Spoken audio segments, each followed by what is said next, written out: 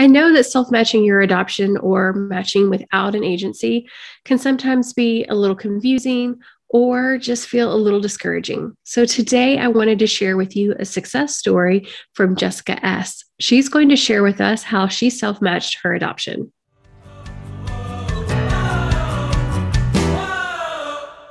In case we haven't met yet, my name is Amanda, and I'm an adoptive mom of two on a mission to make your adoption easier, faster, and more affordable. I release new videos like this each and every week, so make sure you subscribe and click the bell icon so that you're notified each and every time I release a new video. In today's conversation, we have the pleasure of speaking with Jessica S. Jessica is going to share how she self matched her adoption. And I think there's some really actionable tips that we can all take away from today's conversation. So let's dive right in, shall we? Well, hello, everyone, and thank you so much for joining us today. Welcome back to the My Adoption Coach YouTube and podcast. We have a special guest joining us today, Jessica S. Jessica is an adoptive mom through self matching, and she's going to share a little bit more about her journey with us. Jessica, welcome to the show. Thank you. Thank you so much for having me. I appreciate it. Well, thank you so much for sharing your story with the community. We all know that self matching your adoption can be a little tricky and be a little frustrating at times. And I think seeing just examples of people that have been successful in their journeys definitely helps us keep strong in our own journeys. So thank Absolutely. you so much. Absolutely. No problem. Um, so, if um, based on our conversation, I know that you have two children that you've self matched your adoptions through. Can you tell us a little bit more about your adoption journey? Yep, absolutely. Um, so my husband and I uh, started our journey back in 2014. Um, we were initially living in Delaware, which is an agency only state. So we did um, start out with an agency, but after about 18 months, um, we realized that we were probably not going to be matching through the agency. Um, and we ended up moving back home to North Carolina, which is a um, state that's kind of more acceptable to do private matching. So my sister uh, actually suggested to us to create a Facebook page. And she's like, you know, everybody has information out on Facebook these days. Have you thought about it? And so we researched it and we kind of were a lot of trial and error put in to see like, you know, what would work and what wasn't going to work and the ethics behind it. Um, and we ended up creating a uh, adoption page and we had some pictures taken and boosted a post and um, we're really consistent with that and ended up matching with our daughter's first mom. Um, and that she was born in 2016 and then when we decided to adopt again we went back and used our platform. Um, and we were very blessed to have a lot of followers continue with our page. And um, so we already had a large kind of following for our second adoption journey, and our son was born in 2018. Wow. So, talk to me a little bit more about your followers. I know this is a question we get quite a lot in our community on how do you share it? You know, where do you share it? What are your best tips in that space? Um, that's a great question. So, we were very open with our families and our friends and our community that we were hoping to adopt. And so, we really asked our families and friends on Facebook to share. Um, anytime we would post something, you know, we would ask them, Hey, do you mind sharing? Um, and they did a really great job of kind of branching out and ended up sharing all throughout the US. We had family members who actually lived overseas and they were sharing in Germany. So it was kind of funny um, to see it everywhere. But um, sharing on different Facebook groups that you can share your information on as well. Um, and then like I said, we paid to promote our page and we also paid to boost a post. And then whoever liked our post, we went back in and invited them to like our page. So we were kind of you know, relying on our friends and family initially to get the word out. And then we were also relying on um, promoting our page through Facebook. So, talk to me a little bit more about promoting your page through Facebook. Mm-hmm. Um, I know that one of the questions that I often struggle with, even from like a corporate day job and marketing perspective, is making sure that your message is getting to the right audience. How mm-hmm. were you able to really do that through boosting your post? Yeah, so it can be kind of hard to find that niche. Um, and I hate that it comes across as like businessy, but it is kind of um, I mean, you're in the business of selling yourself and you want to be real and authentic and, you know, to find the audience that's going to connect most with you. And that was a lot of trial and error initially, um, but we kind of would put interest in.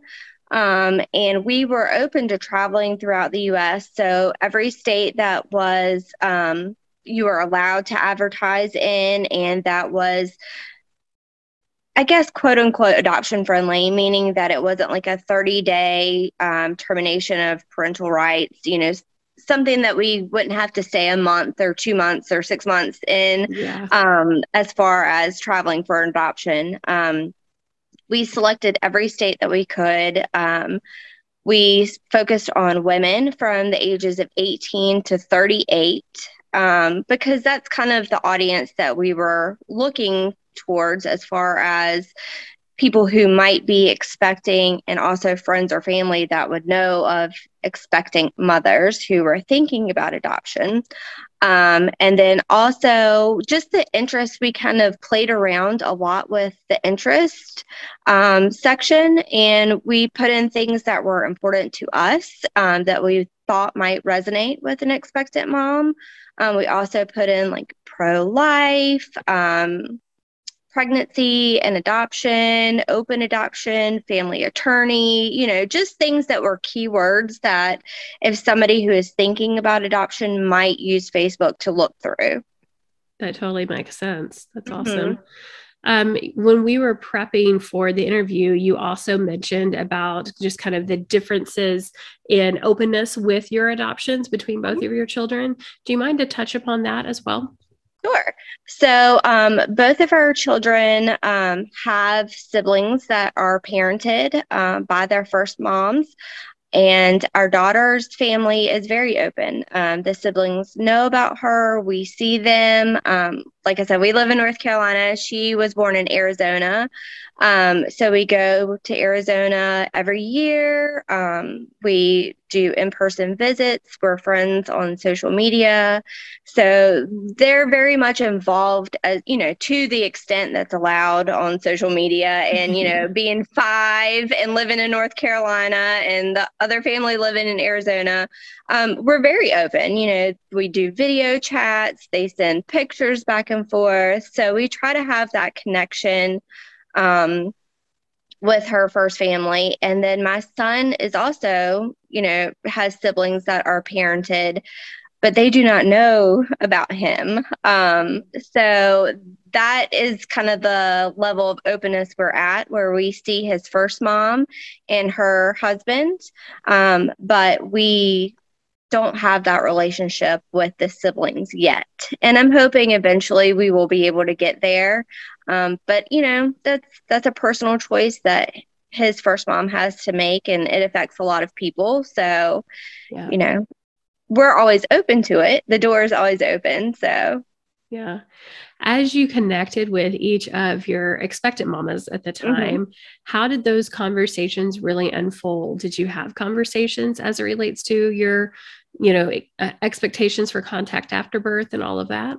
Mm-hmm, absolutely. So it's kind of like I tell people it's kind of like dating. you kind of um, you you throw questions out there and you just kind of see how they react. And we were very very blessed that both of our um, kids' first moms were very communicative. Um, you know, they both reached out and later in their pregnancies. Um, so we had a lot to talk about very quickly to kind of see if it was going to be a good fit for both of us. Um, and yeah, we both talked about, um, you know, what we would ideally like as far as open uh, relationships. And I think, you know, it's really hard uh, initially because they don't know how they're going to feel you know, after placing. Yeah. Um, and it, it might take a little bit of time for that relationship to develop. Um, you know, because I think they are trying to give you space to figure out how to parent and you don't want to mm-hmm. overwhelm them emotionally with, you know, sending pictures and stuff like that. But I will always say, you know, just be open and honest and, you know, to to keep your word. If you promise something, mm-hmm. make sure that you're going to be able to follow up on that. Um, because it is a lifelong relationship you're establishing. So, yeah. you know, and and it can change, you know, it can definitely change. They might become more and more open, you know, and so it, it's really it's like dating and it's like um it's unique, very unique situations, but the better the better um communication you can have the easier the relationships are. Agreed. Yeah. I often tell people that it's really important to have a clear vision of what you want life to be like at the end of the journey. Yeah. also where you're flexible too, because yeah. you don't want to end up in a situation where you're not a good fit, obviously. Right. Um, and to your point, it's so critical that you keep your word at the end of the the journey, so to speak, yeah. at the end of the finalization period. Like that's just to me the start of the mm-hmm. conversation. Absolutely. As, yeah, for sure. And so it's really yeah. important. Um, and there are tons of creative ways, to your point, that you can do that in a way that makes the first family and your family feel comfortable and safe in yeah. order to having those conversations. Yeah, um, definitely. That is amazing. Um, so you talked a little bit about finding your, you know, expectant mamas through Facebook, particularly. Mm-hmm. I know another issue that we often face in our community is around adoption scams. And I know mm-hmm. you're really passionate about this and have a Facebook group as well. So can you share a little bit about the audience or with the audience about that? Absolutely. Um, so it is a big part of people's concerns when they are thinking about um, connecting on social media um, is what to do with scamming. And unfortunately, it happens. Um, there are people out there who just target um, specifically target hopeful mm-hmm. adoptive families. Um, and, you know, we, I do have a Facebook group, um, Ending Adoption Scams, which we try to, you know, put people's information out there, you know, in a respectful way, just mm-hmm. to see if anybody else is talking to this person. Is it, you know, a legitimate situation? Um, and so I, I have seen a lot of positive reviews that it is a service that you know people appreciate and mm-hmm. we're able to kind of protect each other um, but yeah there there are people out there that will unfortunately try to take advantage whether it's financially or emotionally um, and there are some very popular people out there that have been making the rounds for quite a few years um, mm-hmm. Yeah. Yeah. So but you know it is as long as you kind of can tell the red flags and you're working with an adoption professional whether it's like consultant or uh, attorney you know um, bouncing these things off of them as well um, they are a great resource for also trying to vet people um, so yeah that's great would you mind if we link to that in the show notes sure, so that everybody absolutely. Can... great yeah, thank you so absolutely. much you're welcome you talked a little bit about adoption professionals. Can you tell us a little bit about what that looked like in your journey? You already mentioned that agency wasn't the route for you, but what right. was your journey like from an adoption professional side? When did you bring them in? Who did you work with? Not specifically the person, but you know, generalities. Right. Yes. So we initially did work with an agency. It's a national agency. Um, and they are based out of California. Um, but we did not have a good experience and saw a lot of red flags. Um, so we quickly decided that, you know, once our contract was done, we would not be renewing. And uh, that was not somebody that we would suggest to other families who asked us. Um, so we our daughter is Native American and Hispanic. So we have experience with the ICWA um, situation a little bit. Very fortunately, we were not, you know, drug into a lot of um, things based on tribal laws and um, mm. A recommendation for a good ICWA attorney. So we were working with somebody based out of Arizona, and then he represented our daughter's first mom. And then we had an attorney here in North Carolina who was working with us to do the finalization. Um, so we quickly knew that we had to get somebody involved. Um, our daughter's first mom was contacted us the end of August and was due September 21st. So it was oh, wow. very quick. yeah. So we had to get the ball rolling pretty quickly on trying to find services and people to put in place for her, mm-hmm. um, as well as find an adoption attorney in North Carolina locally that would be facilitating the finalization. Um, with our son, we knew we were not going to have a consultant or agency involved. Um, and so we kind of just waited to see, you know, who would reach out and where they would be reaching out from. You know, if it was somebody local in North Carolina, we would use the same um, the same attorney who finalized our sons uh, or our daughters. And then uh, our son's mom is in south carolina. So uh, we found an attorney in south carolina who was able to work with her and a social worker as well. Um, and she was about 34 weeks pregnant when she reached out. So again you know not a lot of time but you know we had a lot of initial conversations um, with her. And then when she decided that we would be a good fit, um, we got some information together for her and she started just the information gathering process through the attorney and social worker. Um, so I would say once you kind of have some conversations and you both feel like it would be a good fit, that would be the time to kind of start the process with mm-hmm. your attorney.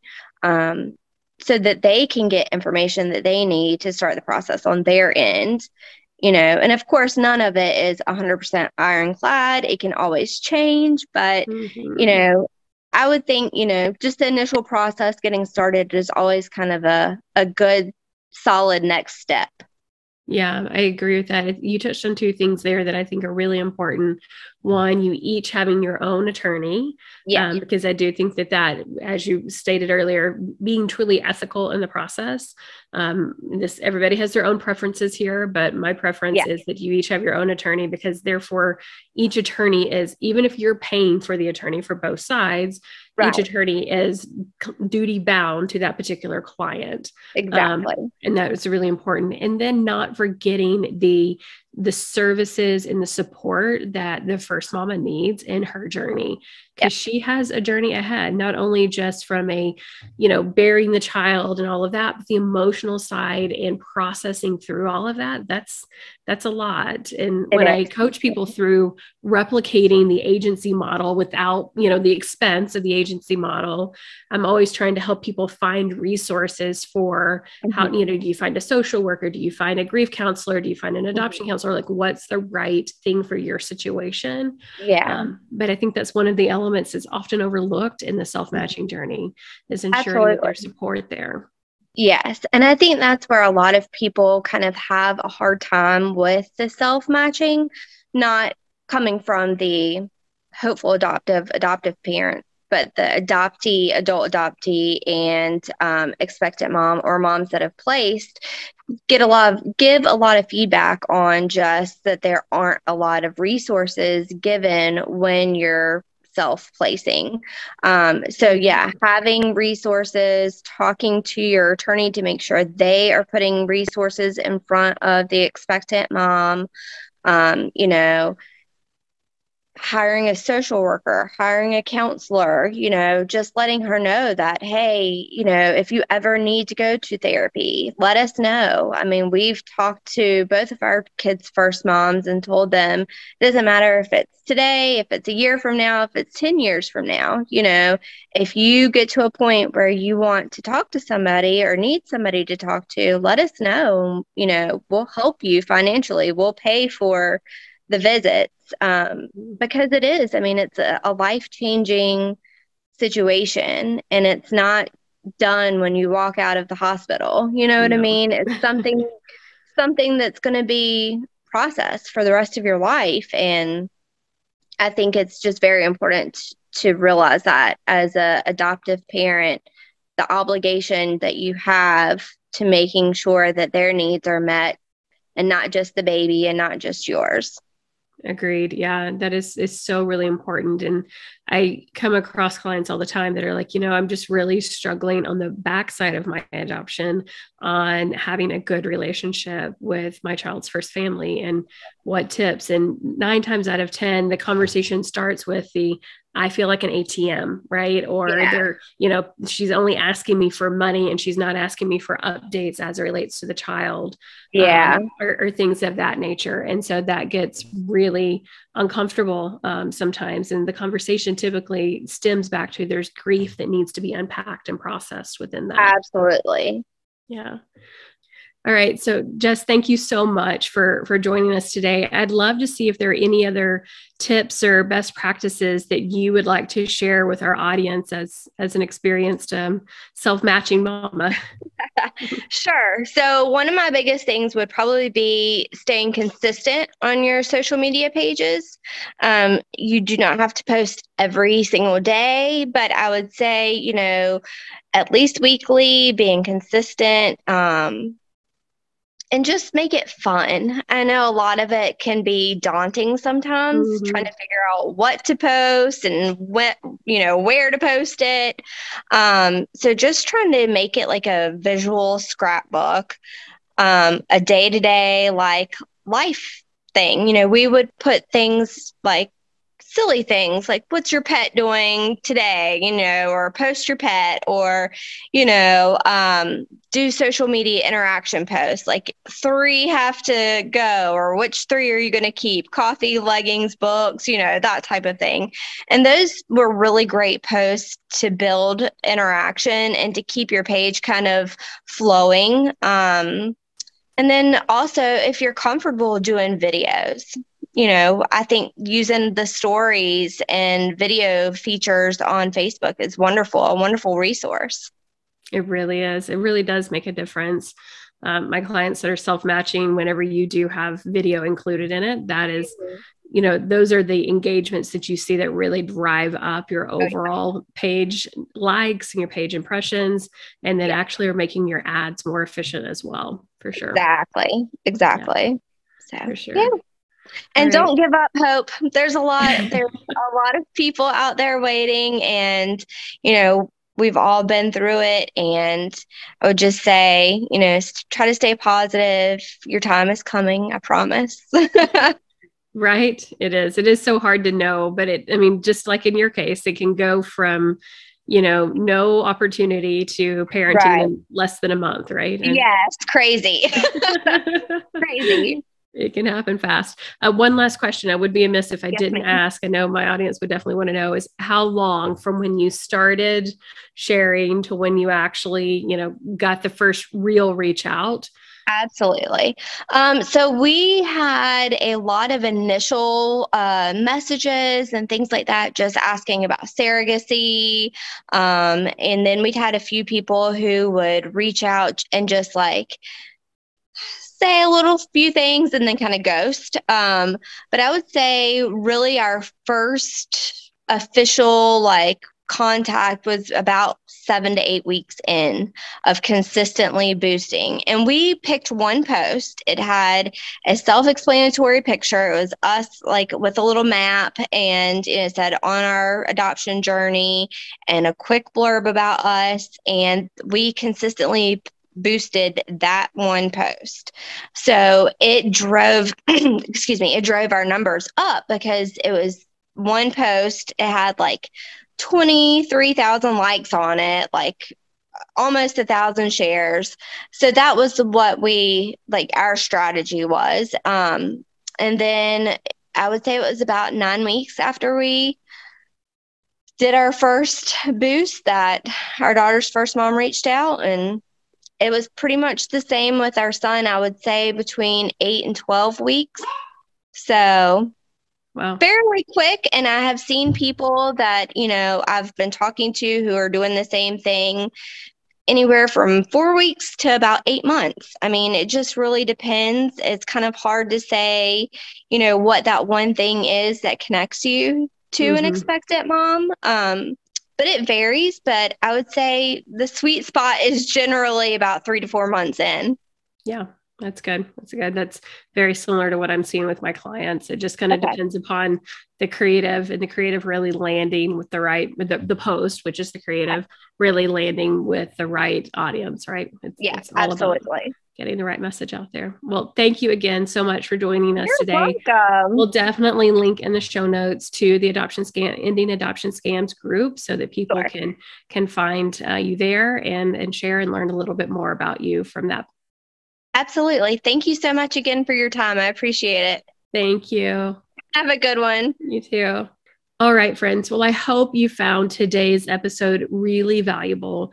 I think it is great to hear directly from someone who has self matched herself and used Facebook and Instagram in order to really accomplish her goals. Specifically, she focused on Facebook and boosting that post.